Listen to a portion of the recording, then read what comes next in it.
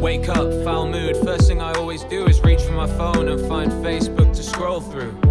Having no notifications makes me sad, but too many pop ups and messages make me mad. I can feel my brain going crazy lately. Dopamine is going spacey. I'm like a social media crack baby. I'm just constantly waiting here for the next fix. I used to enjoy it, but now it makes me feel shit. The constant comparing to other people's lives. They have kids and wives, so I put my happiness to the side. Why? Why can't I be myself and not compare to other people who we live with on the earth's shared shelf? We're all born and destined to go pace. Stop comparing you to others and nurture your own space. Love your own face. Take a deep breath and have faith before the new day.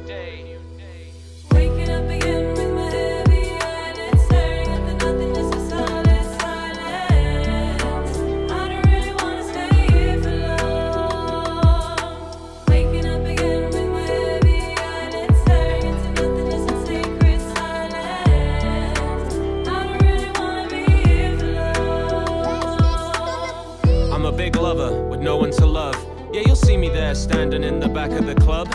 I might let out a smile or a face of a good time, but sometimes on the inside I'm losing my mind. I sit and wonder how his life got so complicated. Then I absorb myself inside the screen like it's validated. 2019, it wasn't really the year for me. But I'd rather grow and learn to be the best that I can be and not to be defeated or become defeatist. I can see the pain is leaking from my brain like a creative secret. Can you see it? I can see it, I can feel it. Inner demons feel them screaming. It's a burden. To find love, I need to stop searching, start reversing. My method's really not working. Is it worth it? I'm just looking for a purpose. I know I'm not the best at improving things as I go, but I'm sick of doing nothing and I want something to show before I'm. Waking up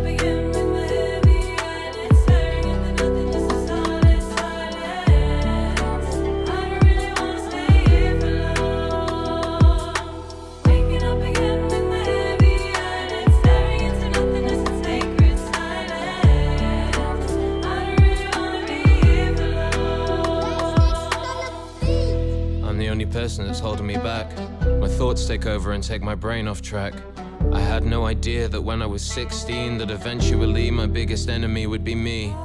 Have you ever thought how many heads you see face down when you're walking on the street? Disconnected, they can't make ends meet. I can't help but feel like my generation would feel less fucked and more in touch without phones, with our heads face up. I know it feels great to feel more connected. Socializing with your friends makes you feel respected.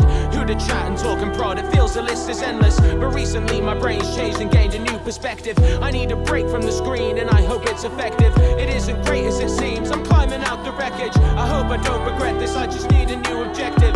If you need me, you can send emails or pop a message.